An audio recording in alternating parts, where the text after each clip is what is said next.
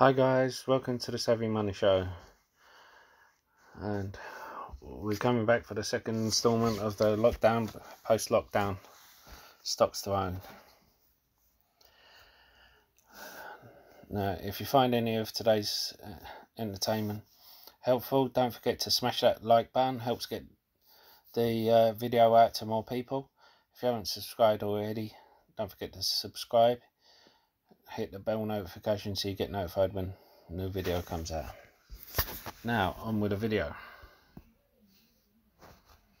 Alright. Now, some of you dividend chasers and dividend aristocrats will already know this one. It's AT&T. Well, this one I've spoken about it came from forty dollars, and it's still hanging around a low. It's hit low as twenty six dollars. It's now at a thirty dollar mark. It has a good dividend, seven percent. P ratio of fifteen. Now this looks to be a player in the five G market, and you know, anyone using a mobile or mobile network will know about these guys in the US. And uh, I'll be also putting one for the UK in a minute. But can't believe this hasn't been shooting up. Now, yeah. In my opinion, this is definitely one to watch. Yeah. Even if you hold just for the dividend. It's but in my opinion I would hold it for 5G and once IG comes in it will uh, it will take off now. It has uh,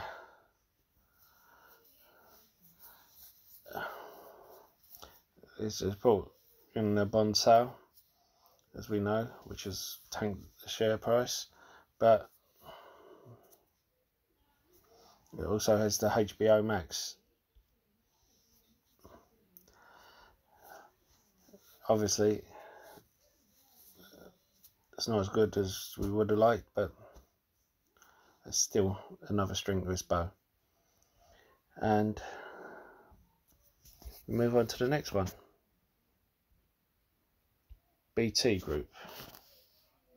Now, this one has been sinking like a stone because it's been having so many problems, mainly in Italy. It's had regulation problems after regulation. Uh, it's been fined anti-bribery laws, anti-competition laws, anti-corruption laws, and it's solved all those. The people involved gotten rid of, they've paid the fines, and they've gone through them. But then you can see here where it's, it's come down, you know, uh, along there.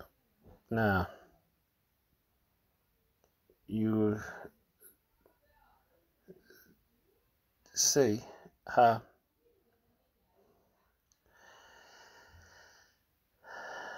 there was talks you see it going up a little bit there was talks of them selling openreach off Now, OpenReach is a huge money maker for them.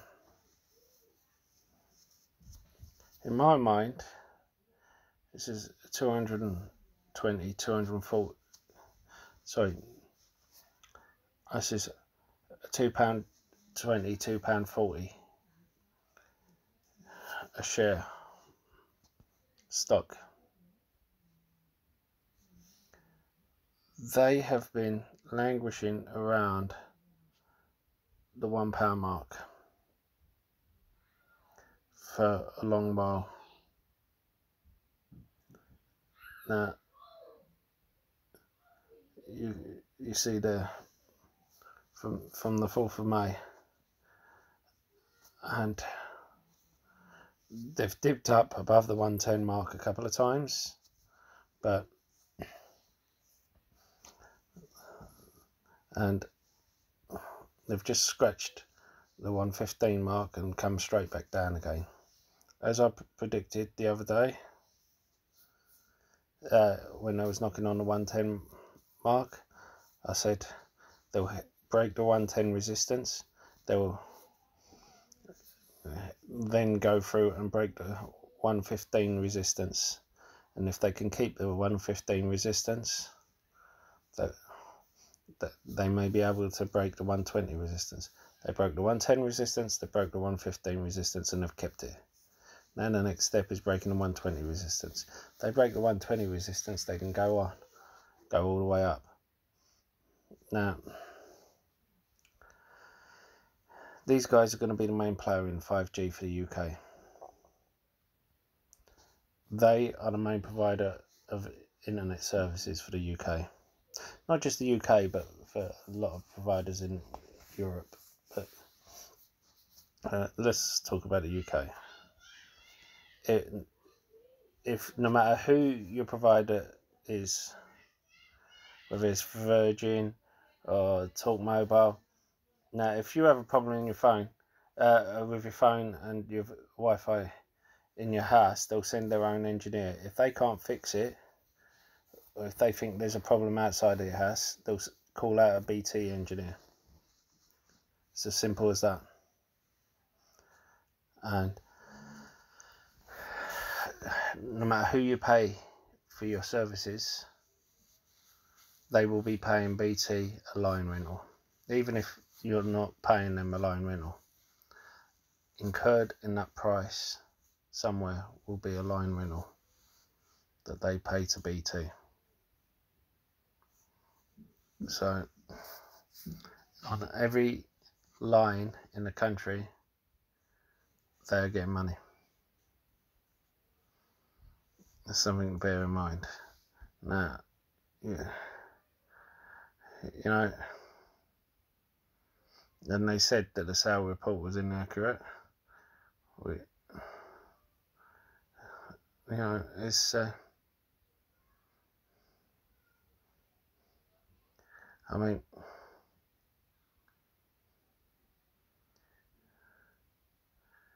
and there's been insider buying. You know, no offense at this price, there's going to be inside insider buying. It's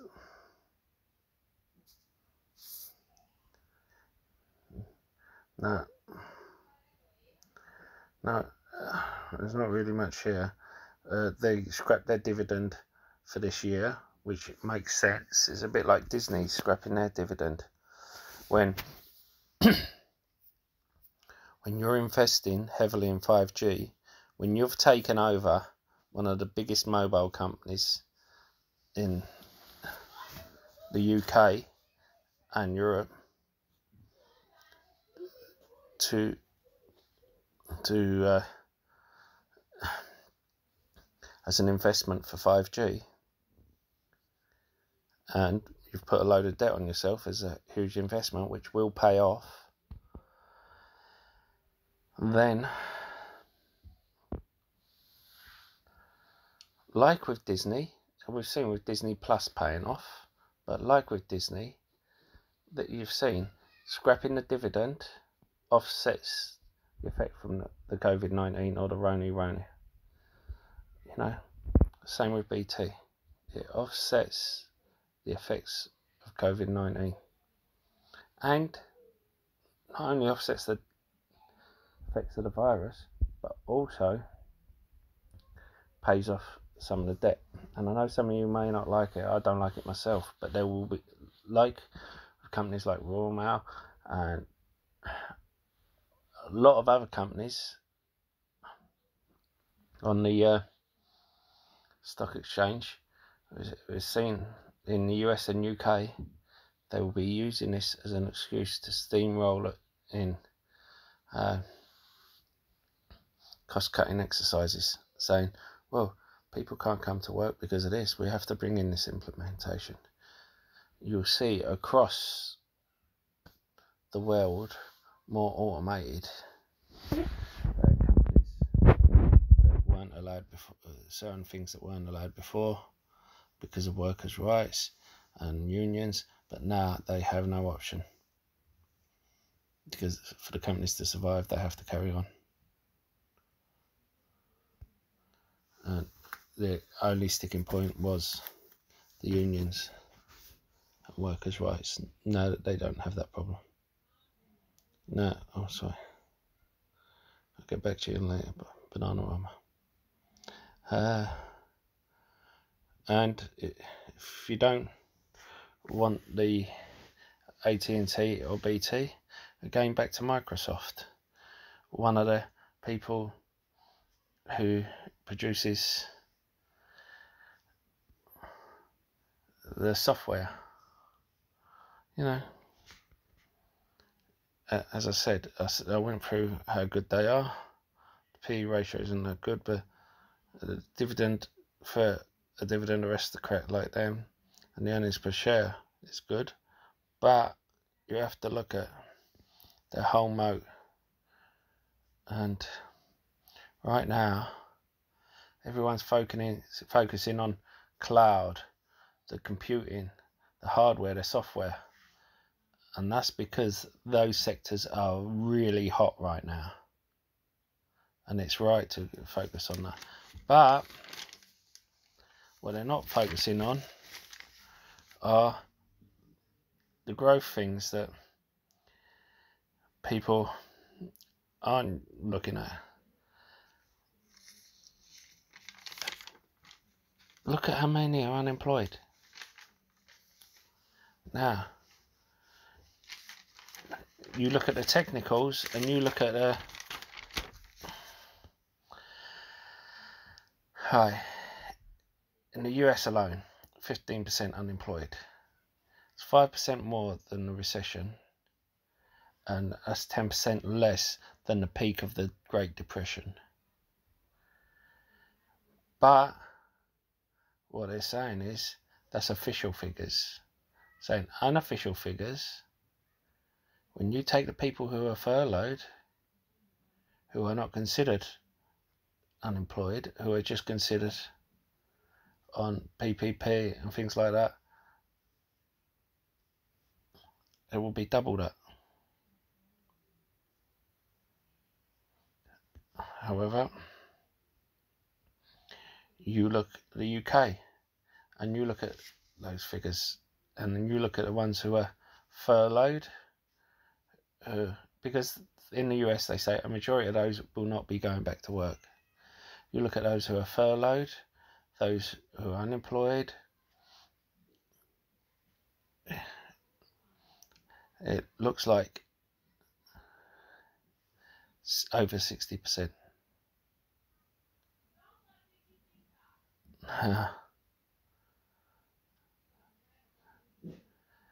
Thing is, Microsoft own a small company we know of called LinkedIn. I use it myself for networking. I they also own lynda.com, which is one for learning platform. Now, you have a job one of the best job platforms. And no offense, I've used the online apps, the online websites for jobs before, and I hate them. LinkedIn makes things so much easier. It's what you want from job search platform. I haven't tried lynda.com, but uh, with Microsoft, I assume it's the same. Now, you can go for the router type providers such as Cisco, who I've spoke about before. You know, I mean, you you've got Cisco. They're not. They're a P ratio of eighteen, and dividend of three. That's that's not high at all for a company.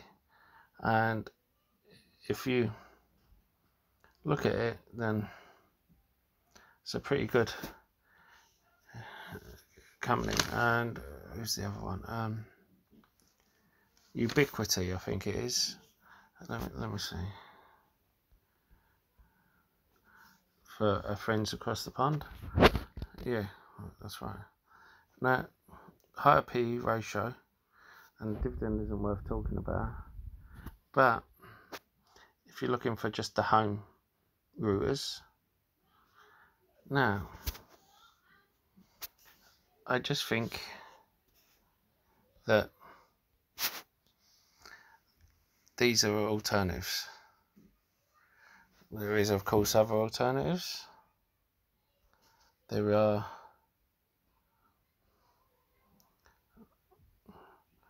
where is it? Where is it? Oh, here. Yeah. Uh,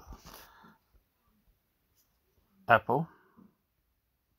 Now, bringing out a phone, which was smart because people couldn't go out and buy it. They could have ordered it online, but and done a pre-order online. But uh, think about it, people have been getting these stimulus checks. People know the new Apple phone are coming out. They wait until lockdowns ended. People have a chance to save up their stimulus checks. Uh, all these people who are obsessed with Apple, they can go out and get it. Now, they reckon they predict that Apple's going to do very well, especially in China. They do a dividend of one percent. It's nice to have, but it's not worth talking about really. Uh, earnings per share of twelve point seven, great for growth stock. P ratio of twenty five, that's good, but I consider it quite highly priced. You've got to remember, not one of these who follows Warren Buffett blindly. You've got to remember, Warren Buffett, they go on how he holds 5% of his stock, so you should buy it. He held 20 to 30% of his stock. He sold it when it hit 320. Now, I think these will benefit greatly from 5G. I think these will benefit greatly from all the things they're in but you have to remember there's certain things going on in the background that will affect them. Trump squaring off to China, I think everyone will be asked to choose a side, and hopefully Apple don't get caught in the middle, but the products are made out there, and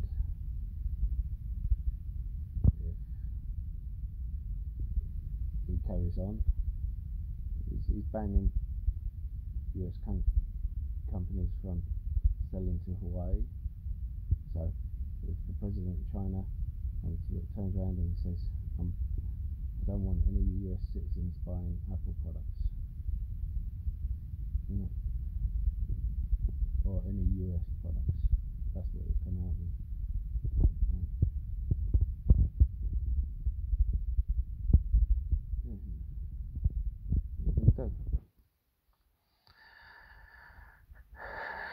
Now, this isn't just considered a luxury item here, it's considered a luxury item out in China as well. Now, there was another one I'd be wary of. Apple, I'm only wary of because it has a high valuation at the moment.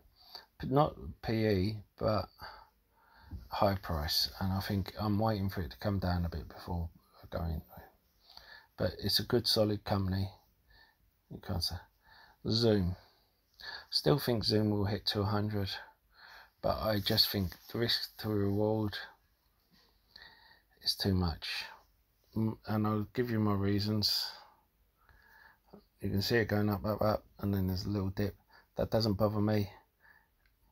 What bothers me more is the P ratio is 1900. That doesn't bother me because it's a growth stock. It bothers me a little bit, but it's a growth stock. But so mainly I go by forward PE. What bothers me is although it's the main one in its field, best at what it does, it's a one trick pony. It's a subscription subscription based model and they think it's going to do better. It's got good earnings this year. They reckon they're going to have good earnings next year. The problem I have with it is that I spoke about Zoom in the previous one.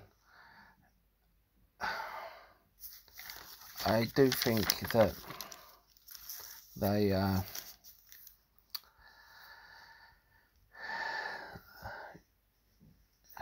you got to look at the competitors as well. On one of the competitors, you've got to see the price point.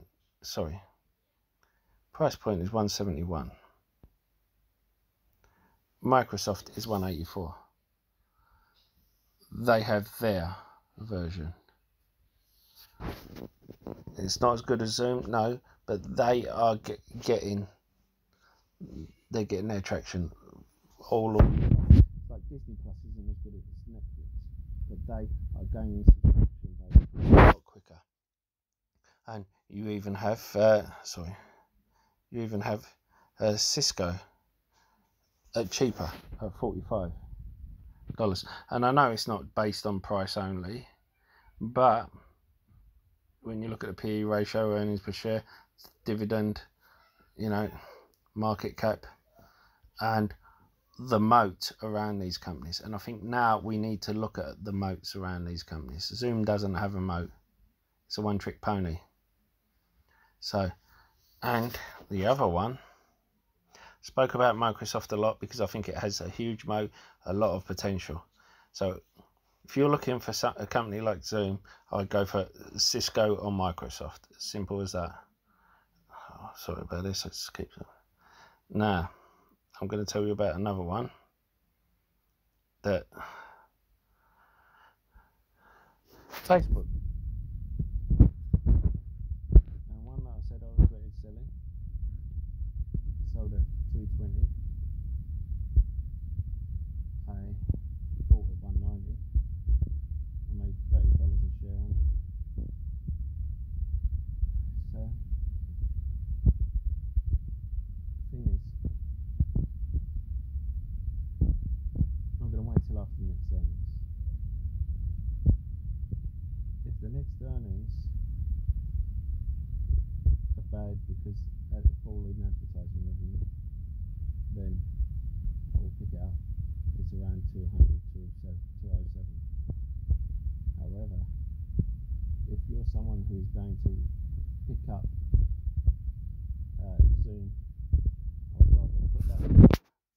$170 into Facebook. They have a higher PE ratio, yes. They don't pay a dividend, fine. I don't mind that from a growth stock. The difference is that because I would be paying tax on that anyway, being in the UK. The thing is that they are growing. Look at this, how they've grown steadily since then. There's only been these two dips there but still, it, you can see a straight line growth. and I'm kicking myself for getting out.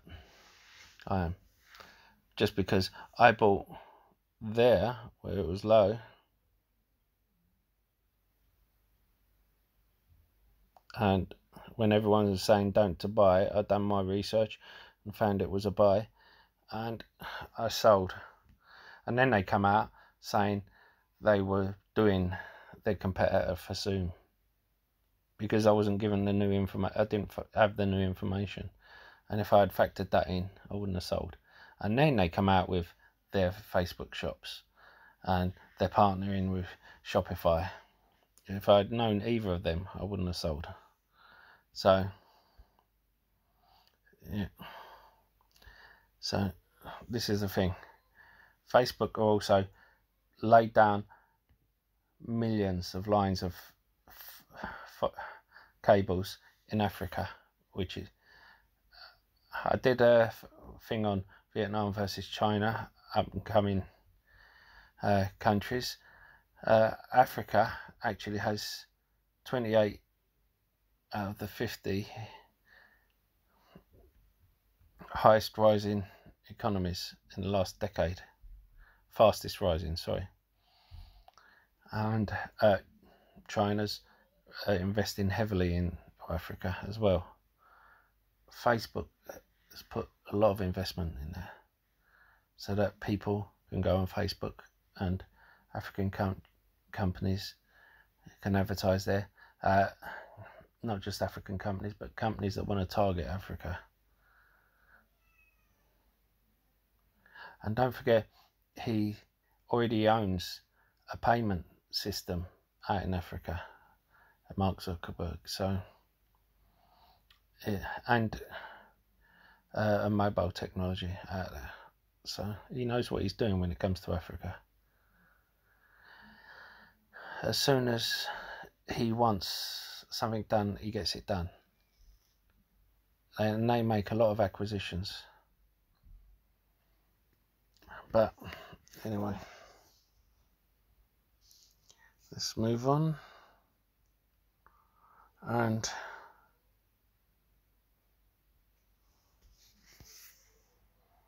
I I think that Amazon is just too high for me at the moment. Uh, Google, amazing. They have the antitrust thing going on, and I think they're uh, buy sell like in the middle at the moment, and I think I'll wait for the earnings and then the, you know, I bought a again. I bought when it was nineteen uh, I, I bought when people were saying to sell, and then it came out, it went, it just shot up, and then I sold. I want to buy again when it drops, and if it does drop, and hold and not sell. Alright, now Starbucks. Done a video about this, and now I want to say that anything with this is a short term hold. PE ratio is 27. That's not the reason why, because PE ratio is just one data point. The problem with this is I think people will go out, the evidence has shown us people will go out and buy it when they first beat lockdown because they're tired of making their own coffee. They're tired of the same old thing. They want a bit of luxury in the US especially, they want to taste a bit of luxury. But then they have a drive through only at the moment. Uh, there's a huge one around the corner from me which is closed because it isn't a drive through. And the main thing that Starbucks built his business on is people could sit there all day with the computer streaming free Wi-Fi as long as they were buying coffee. It cuts down on their costs, having them closed and having them drive through, but it loses them a lot of business. And these people go elsewhere. And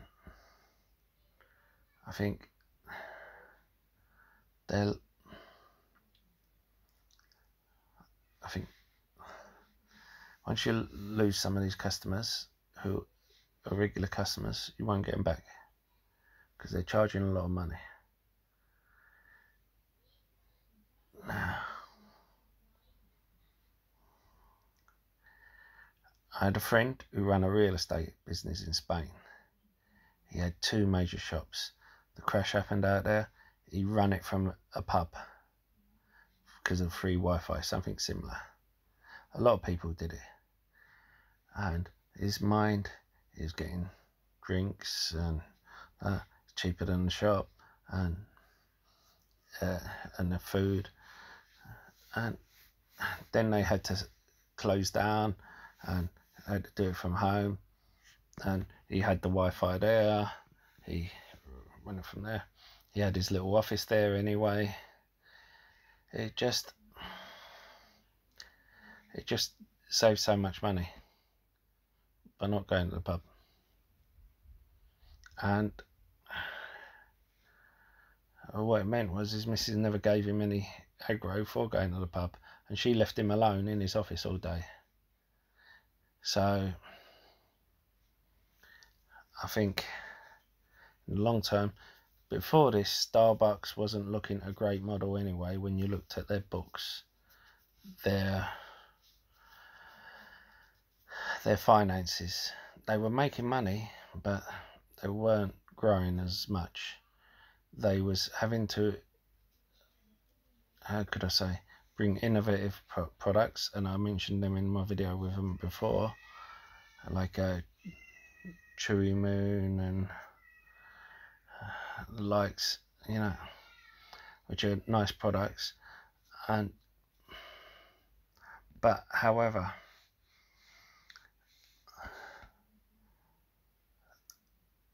the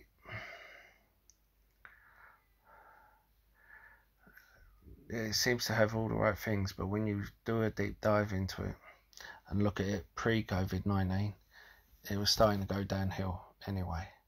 And I think this kind of papered over some of the cracks.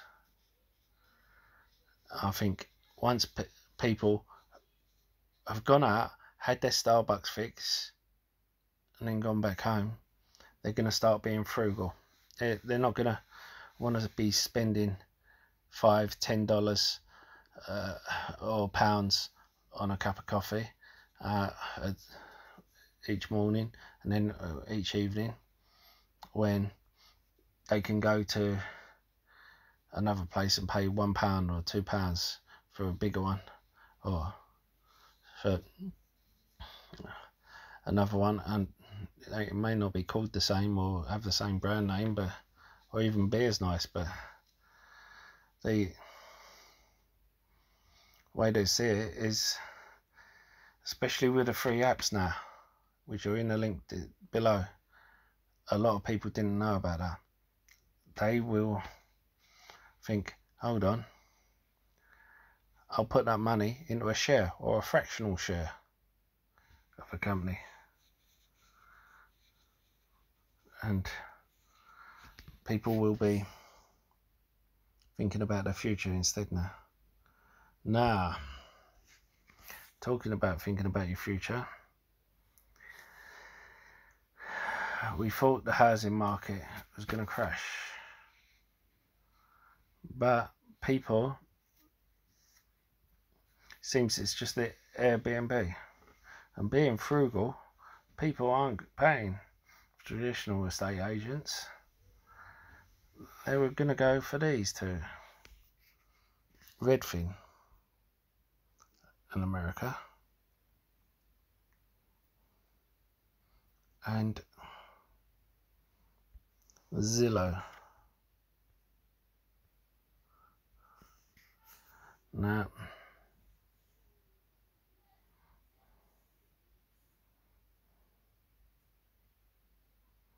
I'm trying to find doorsteps for the UK, but you of course have the uh, Zoopla and